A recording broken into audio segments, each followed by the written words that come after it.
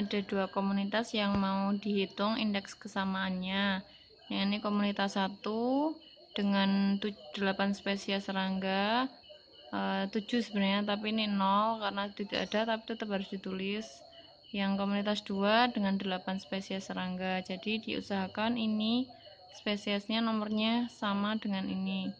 Kalau belalang ya dengan belalang kumbang dengan kumbang nomor 3 gitu kemudian setelah dibuat dua tabel dari dua komunitas yang berbeda nanti dicari N1 N2 nya.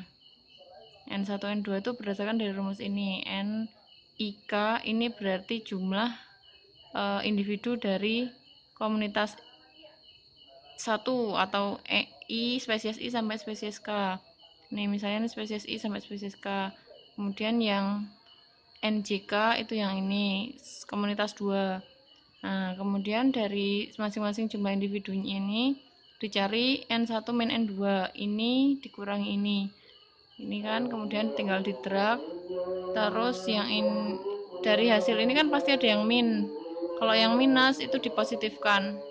Semua dipositifkan. Terus yang ini itu dijumlahkan antara jumlah ini sama jumlah ini. Setelah itu ini dijumlahkan semua dari yang pengurangan tadi dan penjumlahan semuanya dijumlahkan. Kemudian dibagi ini dibagi ini. Ini dibagi ini itu adalah indeks ketidaksamaan. Sedangkan indeks kesamaannya itu tinggal satu dikurangi nilai ini